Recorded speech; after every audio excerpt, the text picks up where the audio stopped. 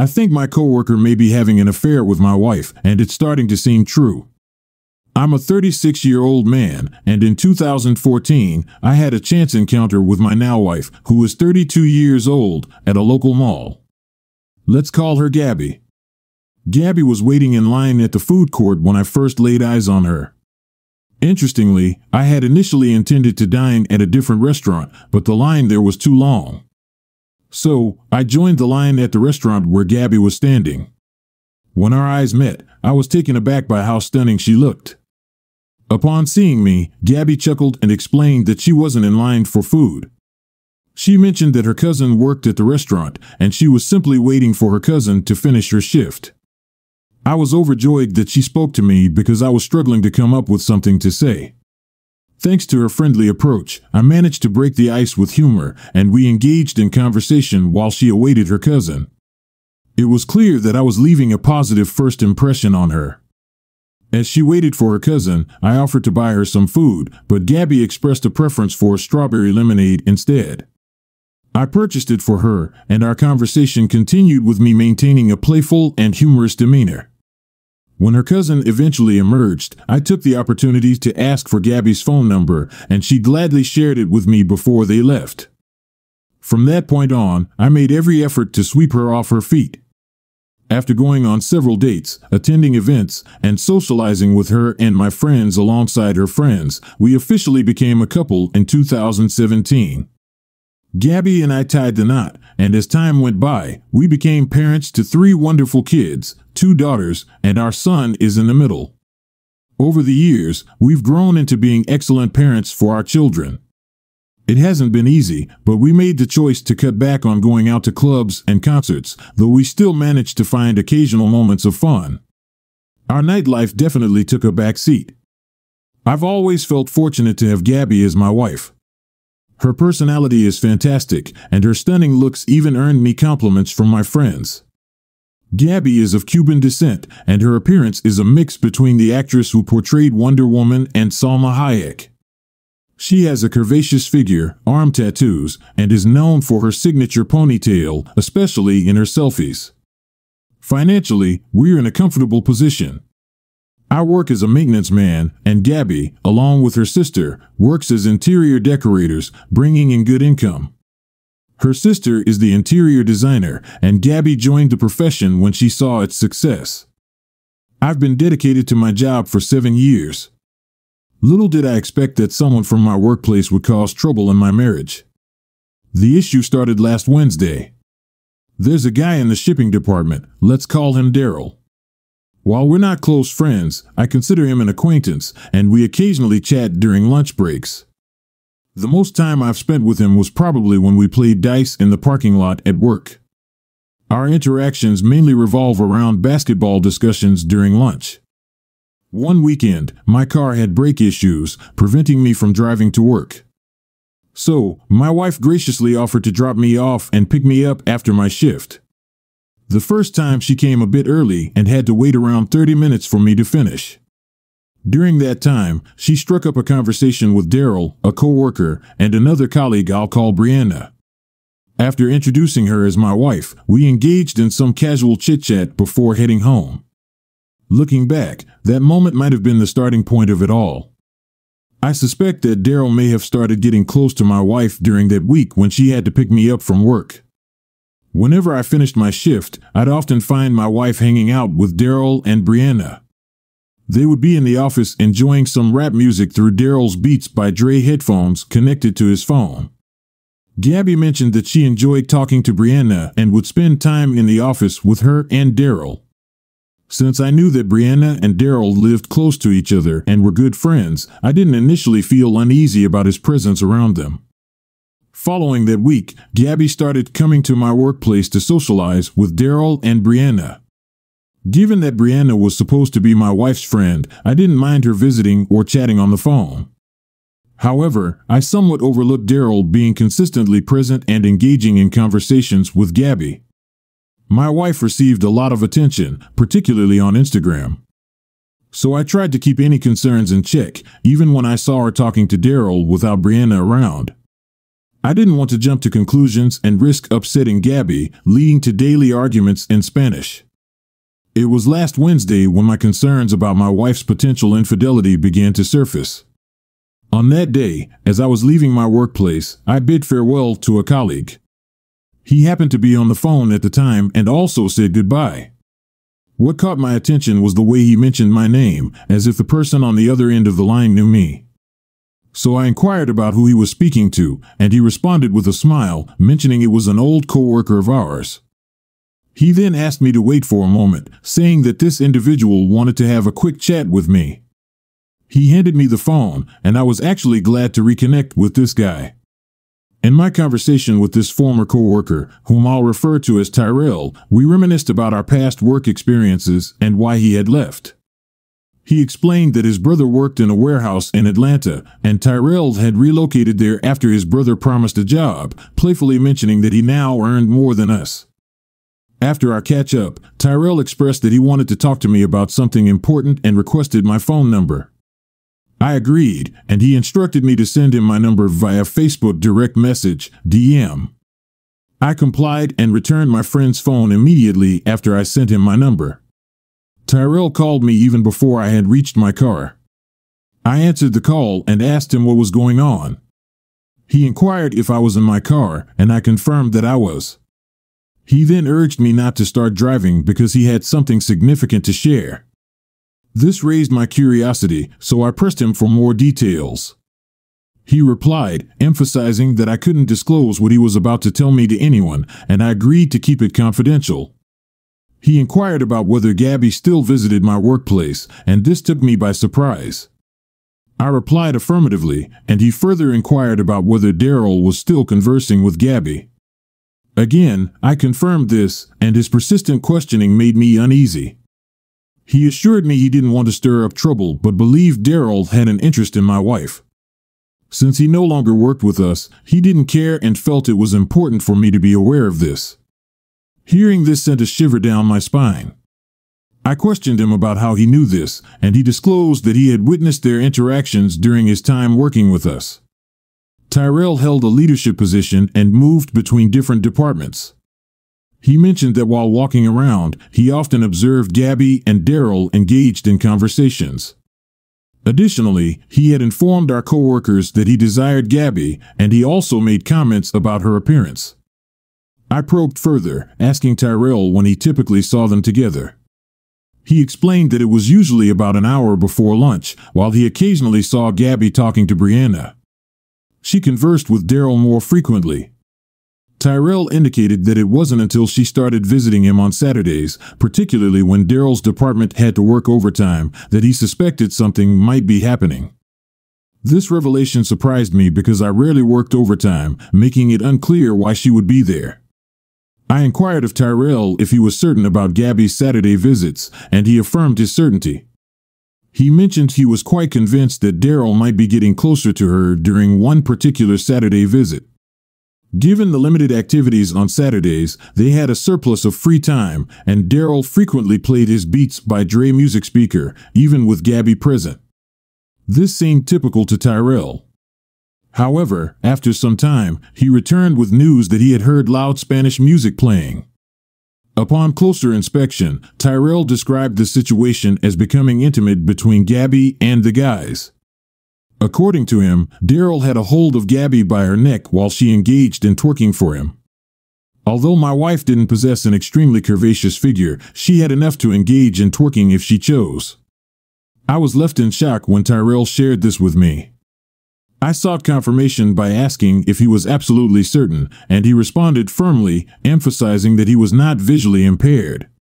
He recounted that everyone watched as she danced provocatively for Daryl, even mentioning that he lifted her shirt to reveal her backside through her leggings.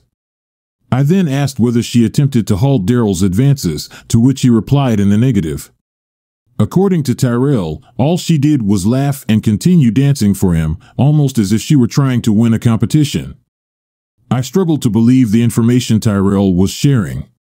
He expressed his regrets and advised me to keep my wife away from him, including Brianna.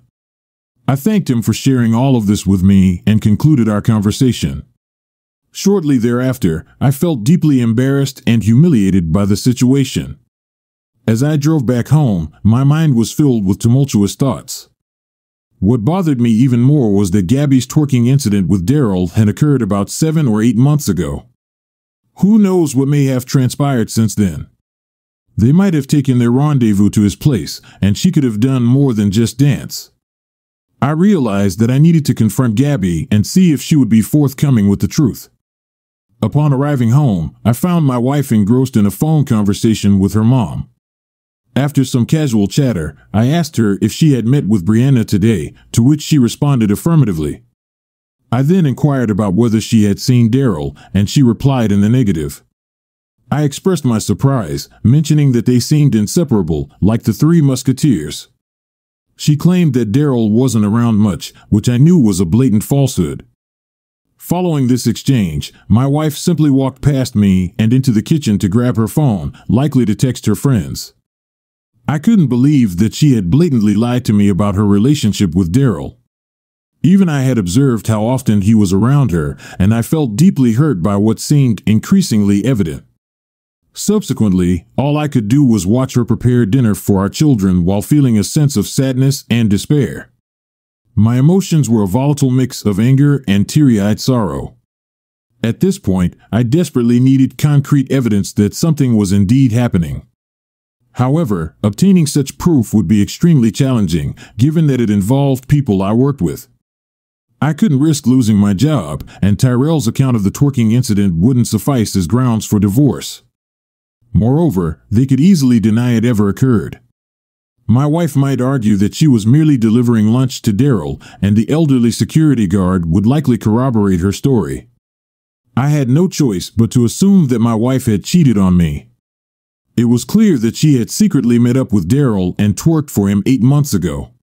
With so much time having passed, I couldn't fathom what might have transpired since then. I needed to figure out how to obtain substantial evidence that could be used in a divorce case, all while treading carefully to safeguard my job and anticipate potential backlash from her family. I will provide an update if I manage to devise a plan of action. Considering the passage of time, I couldn't help but wonder about the nature of her relationship with Daryl at present. While I appreciated Tyrell's honesty in sharing this information, I couldn't help but feel that it may have come too late. I wished he had spoken up at the time, but it appeared that his reluctance to snitch on Daryl had allowed the situation between Daryl and my wife to progress. Upon returning home, I initiated a conversation with Gabby regarding her friendship with Daryl. She claimed that she occasionally spoke to Daryl, but he wasn't usually around, and she primarily conversed with Brianna. I recognized this as a fabrication since I had witnessed their interactions on some occasions. Thanks to Tyrell's revelations, I began to see through the facade.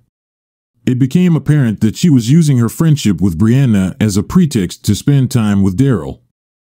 Following my conversation with Tyrell and Gabby's dishonesty concerning her relationship with Daryl, I started to conduct some discreet investigations around the house. Unfortunately, I couldn't access her iPhone due to her secure passcode, and she seemed to be constantly engrossed in conversations with her mom and sister. Instead, I resorted to eavesdropping on her conversations, particularly those that occurred late at night. I noticed that she would often retreat to the back porch to engage in these conversations, prompting me to discreetly listen in.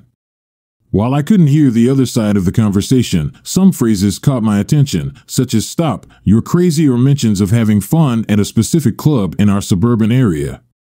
On one occasion, I overheard her saying she can't go over there. I strongly suspected that they referred to Daryl's house, but without the full context, I couldn't be entirely certain. When she returned inside, I questioned her about her phone conversation, and she claimed it was her sister, Brianna, or someone else. However, the giggling and secretive behavior left me unconvinced by her explanation.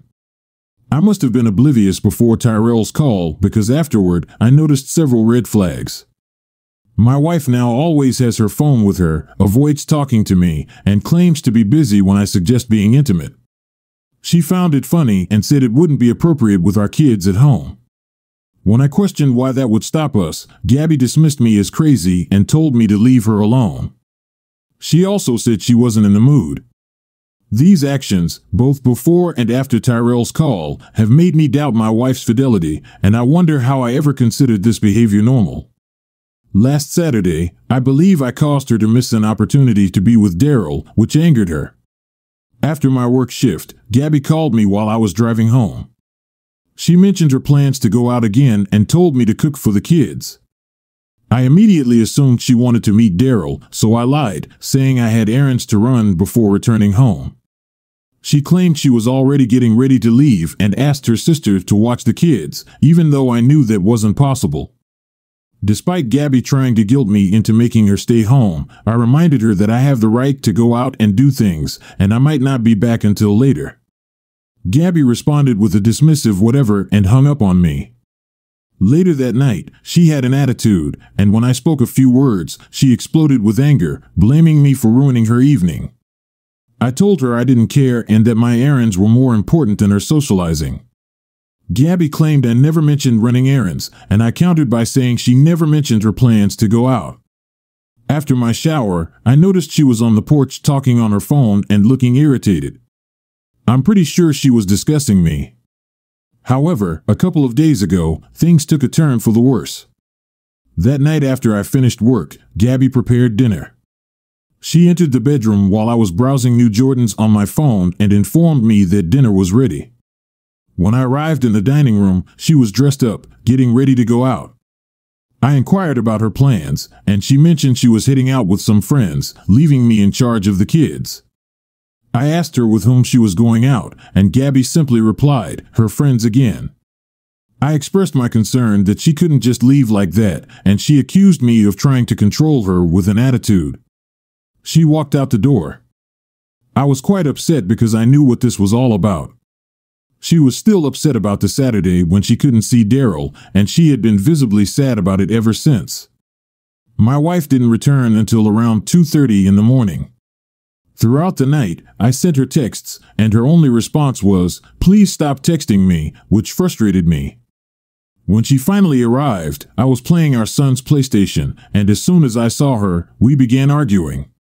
I questioned why she came home so late, and she simply stated that she was hanging out with her friends, a response I wasn't willing to accept.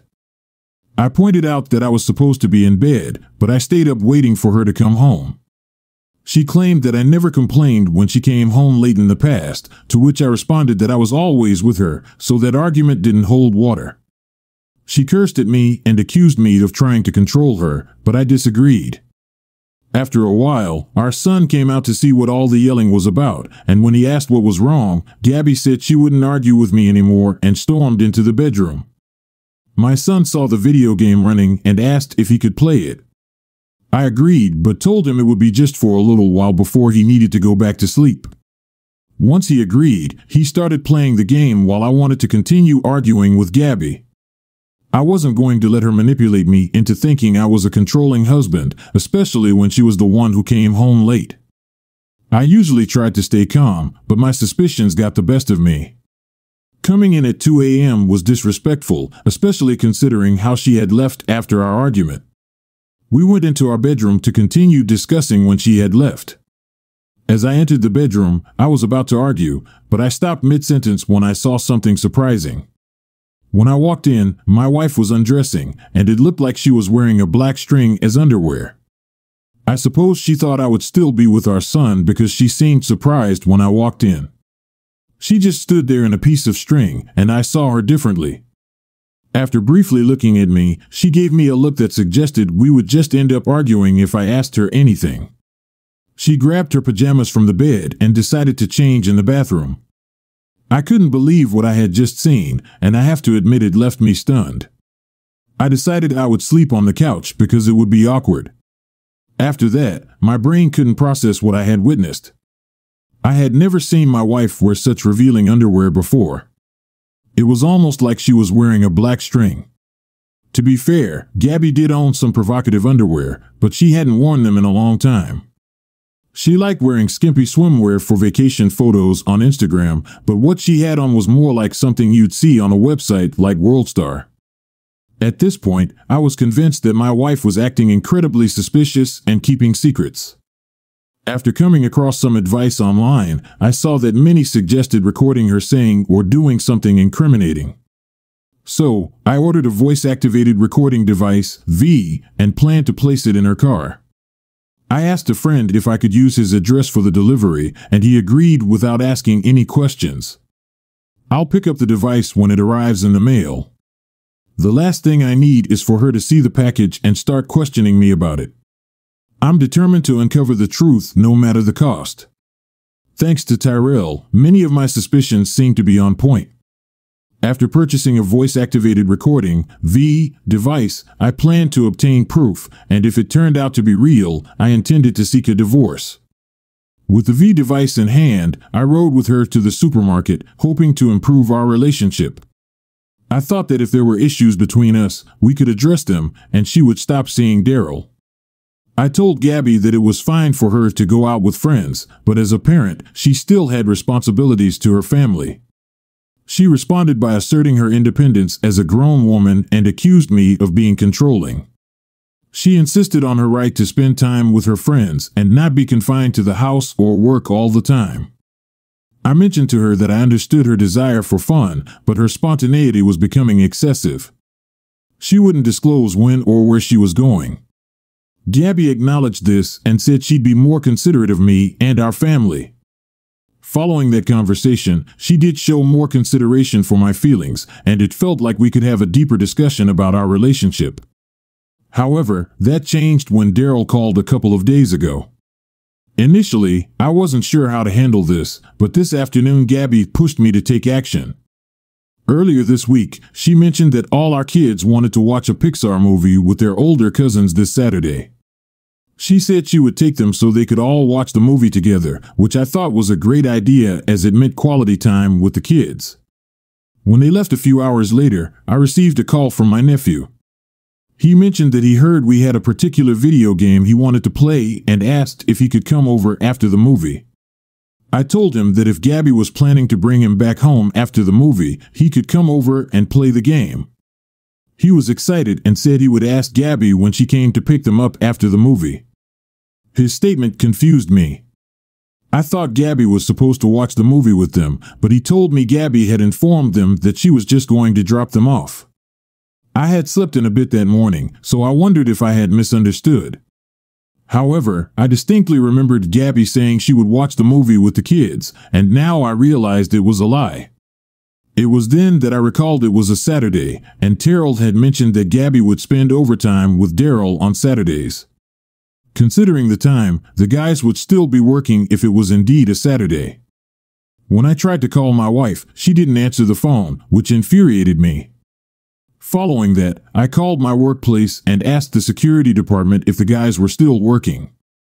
They confirmed that they were, and I hung up, deeply suspicious of whether Gabby was actually with Daryl.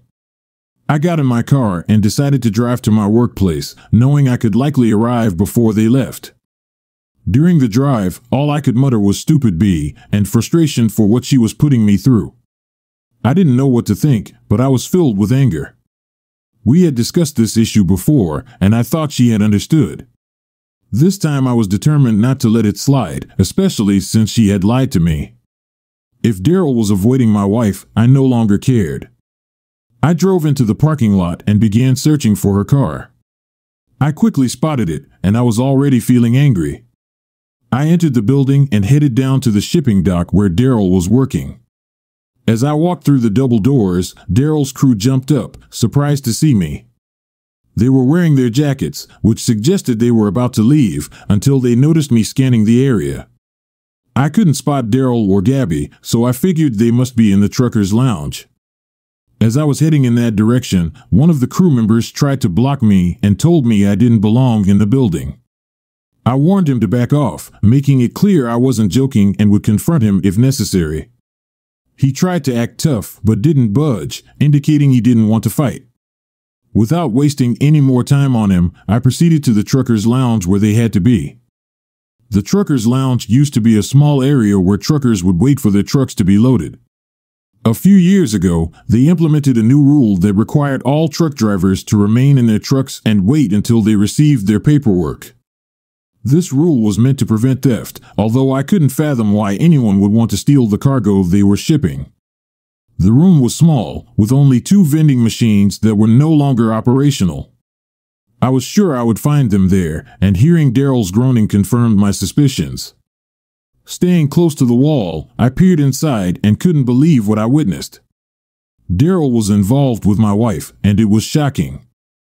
Not only did I see Daryl sitting on a couch with his shirt unbuttoned and his pants and underwear down, but he also had my wife's face in his lap. It resembled a scene from a dark story, as if he were a lord in the mountains forcing a village woman to engage in explicit activities. He looked down at my wife while she knelt obediently performing a certain act. I reached into my pocket and pulled out my phone, sensing that I might need it. I started recording, capturing at least seven seconds of their actions. Gabby was clearly too preoccupied to notice, and Daryl was simply watching her.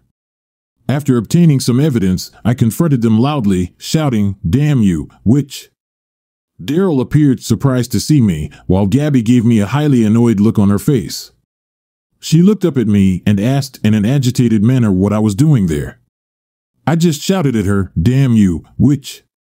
Is this how you treat me? She replied, Can you please just go away? Mind you, she was still holding him in her hand. I retorted with anger, saying to forget both of them while she covered her face, exclaiming, Oh my God. What surprised me was that she didn't appear embarrassed about being caught. She seemed more embarrassed by my behavior in front of Daryl. Following that, I unleashed a string of insults at her, but all she did was roll her eyes and implore me to leave them alone and just go away. It seemed like she just wanted me gone, and the fact that our marriage was over didn't matter to her. It felt as though she was saying, oh well, which infuriated me even more. After hurling countless insults at her, all she could muster were phrases like please leave and I don't care. I yelled at her, questioning how she could do this to me after claiming she loved me. She shot back, I don't love you like that, okay? Hearing that nearly crushed me, and she repeated her demand for me to leave. I informed her that I wanted a divorce, and she responded in a frustrated tone with a simple okay. After that, I exited the warehouse, got into my car, and drove home. Upon reaching home, I was consumed with anger. I punched the walls and yelled at the top of my lungs. I couldn't believe she would betray me like this. She had become a person I no longer recognized, and I was absolutely fed up with the nonsense she had put me through. As it stands, she still hasn't returned, and I have no idea where she is. I suspect she might be with her sister, having to explain the situation. Whatever comes next, I have irrefutable evidence of her infidelity. I intend to use it in various ways, especially during the divorce proceedings. It clearly demonstrates her irresponsibility and lack of concern for our marriage. It's unfortunate to admit, but I likely shouldn't have relied on Tyrell to inform me about this, as the signs were already present. She only valued the things I did for her, and that's the sole reason she married me. Gabby didn't seek love, she simply craved being wanted. Since Daryl was attractive to her and desired her, they became involved. Relationships like this one usually end in failure because women like her tend to revert to their true selves. I recently purchased a voice activated recorder, V, which I've only used once. It appeared that all I required was someone who no longer worked with us.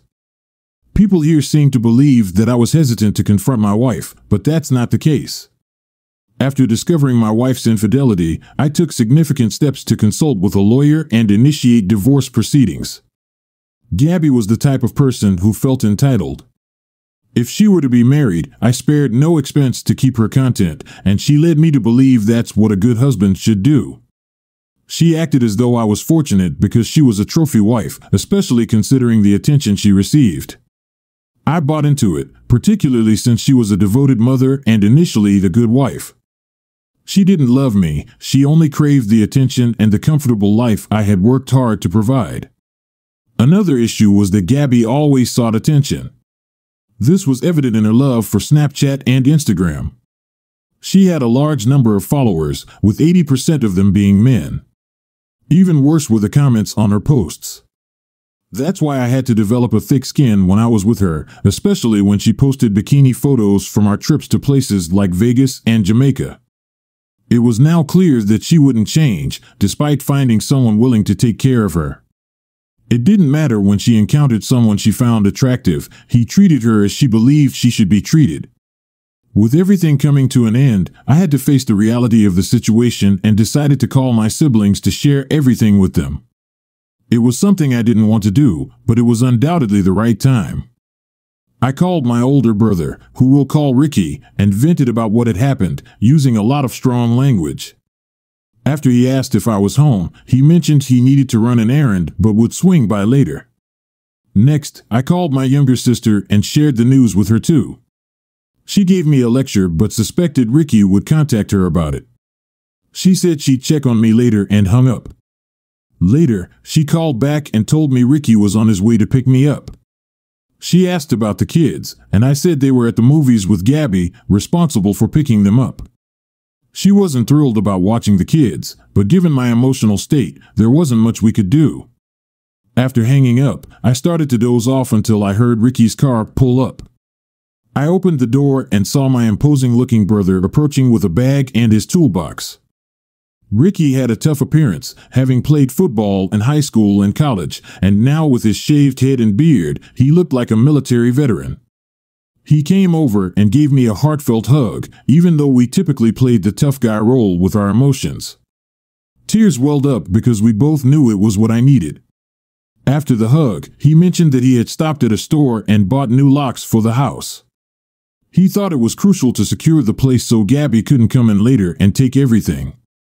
After an hour of talking and changing the locks, we went to Ricky's house. Ricky and his girlfriend were incredibly supportive and did their best to lift my spirits throughout the weekend. My sister, Gina, also came over to talk to me. After reaching out to the rest of my family, I couldn't help but replay the traumatic event in my mind. I hoped to catch my wife confessing or something similar, but the opportunity for confrontation arrived sooner than expected when she admitted she didn't love me in that way. A burning desire for revenge consumed me. I wanted payback for how she had deceived me that day. The urge for vengeance was strong, and I wasn't finished dealing with this situation yet. On that Sunday, Gabby's sister actually gave me a call. Initially, my brother didn't want me to answer, but I had to remind him that my kids were over at Gabby's place. I stepped out of the room and answered the call. After picking up, her sister, who we'll call Christina, asked me what was happening. She mentioned that her sister wouldn't return to the house, but didn't want to explain why. I told her the truth that I had caught her sister cheating on me at my workplace. There were a few seconds of silence after that, then she started denying it and claimed I was lying about her sister. After letting her vent, I told her to hang up, saying I would show her the evidence. She started saying something, but I hung up angrily. After that, I sent her the video and didn't hear from her for the rest of that day. Following that, I spent the remainder of the day trying to relax. When Monday came, I went to work and spoke with my supervisor about Daryl and Gabby. Surprisingly, he provided me with a testimony sheet to file my complaint. While I was completing the paperwork, he expressed his sympathy and asked if I was certain this was happening. Angrily, I confirmed and asked him if he wanted to see the video I had taken. He was surprised and inquired if I actually had evidence. I confirmed that I did. He took back the form I was filling out and said it wouldn't be necessary anymore. He picked up the phone and discussed the situation with someone. After hanging up, he mentioned that he had contacted the manager and asked him to send the video to his email as he would address it when the boss visited the facility in a couple of days. I agreed to this, but also informed him that I wouldn't be coming to work during those days, to which he was just about to suggest the same. A few days ago, Gabby's sister Christina called me back, which surprised me. She said she had talked to Gabby, and Christina wanted me to have a conversation with Gabby that night because the kids wanted to come home. I agreed to take my kids, but expressed my reluctance to talk to Gabby because, in my view, there was nothing left to discuss. She mentioned that she understood Gabby had made a mistake, but believed I should be the more reasonable one and consider the family. Somehow I felt like I was the one being unreasonable. I informed her that I wasn't willing to talk to her because she had cheated with my coworker and caused embarrassment at my workplace. I pointed out to Christina that she had brought another guy into my house and I was expected to act like none of that had occurred. She replied by saying that wasn't true, claiming that Gabby only had involvement with him at work or at his place. I laughed it off and remarked, How can I be sure of that? I mentioned that for all I knew, she might have been involved with Daryl's friends when she was around. Chris got upset and stated that wasn't how it happened. I asked her to clarify what did happen, and that's when she revealed everything Gabby had told her. I regretted bringing it up, especially because I knew Gabby wouldn't lie to Christina, which made it even worse. According to Christina, when Gabby first met Brianna, Daryl was already talking to Brianna, and Gabby informed them that she was there to pick me up. While waiting for me, they started talking and began hanging out whenever she came around. Chris said they became friends over time and enjoyed spending time together during lunch. She mentioned that Daryl began complimenting her, particularly on her appearance, which surprised her but made her feel good about the attention. One day she slipped up and told Brianna that she found Daryl attractive, and Brianna informed him about it. Chris explained that after that, he started getting too close to her and making inappropriate comments. When she heard this, she played it off, but deep down she liked him and often thought about it. I expressed my disbelief and asked her why she didn't tell me earlier, as I would have put a stop to it. She replied that she didn't want to because she really liked him and found his unpredictable behavior appealing. I inquired about when all of this started, and Christina hesitated to tell me at first. However, when I threatened to end the call, she had to reveal the details. She mentioned that she wasn't sure when it started, but Gabby had told her about a birthday party hosted by Brianna's sister. I was aware of Brianna's sister's tendency to get drunk at parties. Brianna had invited Gabby to the party, and she had attended. According to Christina, Daryl had also been present at the party. She mentioned that Gabby was taken by surprise when she saw him at the party, and they spent time together having a good time. Christina asked if he was trying to pursue her, and Gabby confirmed that he was. She explained that they started dancing together, but things took a more aggressive turn over time. I inquired about what she meant by aggressive, and she said he asked her to twerk for him. Gabby turned around and began twerking on him. She mentioned that with the tight leggings she was wearing, it was evident that he was enjoying her twerking and grinding against him. After a while, he began kissing her, and they progressed to making out. Christina explained that they started going out together, and things began to escalate beyond what was acceptable. This raised more red flags for me. She went on to say that when Gabby went to hang out at Daryl's apartment with Brianna, he made advances on her, and she allowed it. Seeing this, Brianna left him alone in his apartment. Chris added that after making out, he performed oral sex on her. Eventually, he repeatedly attempted to engage in oral sex, and sometimes she allowed it, while other times she stopped him. It reached a point where she no longer resisted, and he convinced her to reciprocate. I asked Christina if these encounters happened when my kids were around, and she clarified that everything occurred at work and at his apartment. I expressed disbelief and told Christina that I couldn't believe she had done this to me.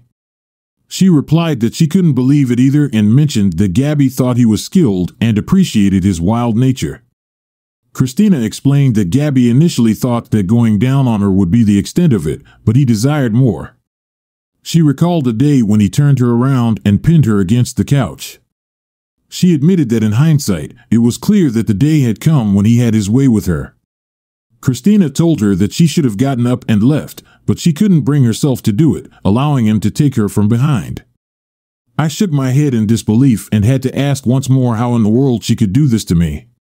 She explained that Gabby had found it all very exciting, and the fact that it was wrong added to the thrill. Christina mentioned that she had always been attracted to his rebellious nature, and when he finally won her over, he didn't disappoint. She noted that he was so eager that she was worried the neighbors might hear them. I could relate to what she was saying because when I was younger, my brother and I had to help my aunt move out of one of her apartments. While we were moving things, we suddenly heard loud noises. Later on, we realized that someone in the apartment below us was watching an action movie or something, and it sounded like Vin Diesel or James Bond was living right beneath us. The walls were incredibly thin, to say the least. If Daryl's apartment was as budget friendly and poorly constructed as my aunt's, then it's highly likely that the neighbors could hear Daryl and Gabby, especially if they were being intimate from behind. She explained that after that initial encounter, whenever he wanted it, he got it. It was meant to be their little secret until Tyrell spilled the beans, showing that he had more courage than they had assumed. Christina started to say more, but I told her that the details about the party and the apartment situation were already overwhelming. She asked if I could at least be the calm and rational one again and have a conversation with Gabby, but I firmly declined. I explained that I would be coming over tomorrow to pick up the kids, but I had no intentions of having a conversation with Gabby. She suggested that it wouldn't work if both of us were stubborn, but I reiterated that she had made a fool out of me and I had no intention of giving her another chance. I informed her of my plans to pick up the kids, and she expressed frustration, letting out a groan before hanging up. On that day, I felt really down, and I had to work my way back up from that low point. A few hours later, I received a call from an unfamiliar number. They followed up with a text, and I realized it was a coworker I knew, which surprised me. I was driving at the time, so I connected the call through my Bluetooth dashboard. He inquired about what was going on, and I simply mentioned that I was running errands. He then asked me if I had anything to do with Daryl getting fired, which caught me off guard. According to him, there were two men and a woman in suits who came to our workplace with our supervisor. They went straight to the area where the trucker lounge was located. Hearing this, I suspected that they were checking the lounge to see if it matched the room in the video. Later, he mentioned that about 20 minutes after their arrival, they called Daryl to the office and asked him to gather his belongings. I confessed the truth to my coworker, and he said he would have done the same thing. He also asked when I would be returning to work, and I informed him that I planned to come in on Friday and work a half day. He responded positively and said he'd catch up with me later. I felt relieved. I made dinner for myself that night, and now my main focus was on the divorce proceedings. The following day was the day I had to pick up my kids, and I wasn't particularly looking forward to it. It had been several days since I had seen Gabby, and my brother Ricky joined me just in case. When I arrived, my kids were genuinely excited to see me. They told me that their mother had been unkind to them and had been ignoring them, so they wanted to come home. Glancing over, I saw Gabby in the kitchen on her cell phone, ignoring me and chatting with her sister. I told the kids to go ahead and get in my car, and my oldest daughter asked if she could bring her iPad with her. I agreed, but Gabby suddenly objected, saying that she had to leave it with her because she had bought it. My daughter was becoming emotionally upset, so I instructed her to wait in the car. When she walked away, I expressed my disbelief that she would act so petty. This led to a heated argument, and I didn't hold back this time. I called her derogatory names, and she retorted by labeling me a snitch for getting Daryl fired from her job. I pointed out that she had previously claimed not to know Daryl that well, and she responded with profanity, telling me to go cry to my mama. She also remarked that I was fortunate she even paid attention to me. She suggested that Daryl and I could have settled things with a fight instead of getting him fired. I retorted that I only fight for real women, not thoughts who don't deserve that privilege. She insulted me, calling me dusty and lame, and declared that she doesn't love a lame guy. Frustrated, I grabbed a glass of orange juice and threw it at her, narrowly missing her. In shock, she retaliated by throwing a fork at my head, which thankfully missed as well. All of this chaos was eventually stopped by my brother Ricky and Christina, Christina's friend, who were present. Gabby continued yelling that she didn't want me and kept saying next, next. My brother practically dragged me to the porch to calm down, and once I had cooled off, I left because I had expended all my energy and couldn't fight my brother to get back inside. When I returned to the car, I informed my daughter that her mother had taken the iPad. She responded by saying she didn't care anymore, she just wanted to leave. I couldn't believe the ordeal I had just gone through, and while I acknowledged that I had crossed a line, it still felt good to let out my frustrations on her. Right now, my kids are with me, and with the new locks on the door, they will remain with me. I had to gently break the news to the kids that their mother and I wouldn't be living together anymore, which crushed them, though they understood. As I mentioned before, my main focus now was on the divorce papers, and the lawyers I spoke to said the video could be helpful in various arguments. I firmly believe my wife is overly self assured, and I hope her actions were worth it. If she thinks she can have a meaningful relationship with Daryl, she's deluding herself. Daryl or anyone else, for that matter, is unlikely to commit to her. She's approaching 40 and has many kids, and he's not looking to become a stepdad overnight. If that's her expectation, I know Daryl better than she does. Gabby was merely a conquest for him, and once he's done, he'll move on to someone else. I'm certain that reality will sink in soon, and it probably won't take even a year. At least now I can have some peace of mind, but I still worry about my kids and my immediate family, perhaps even Christina if she ever realizes how foolish Gabby's actions were.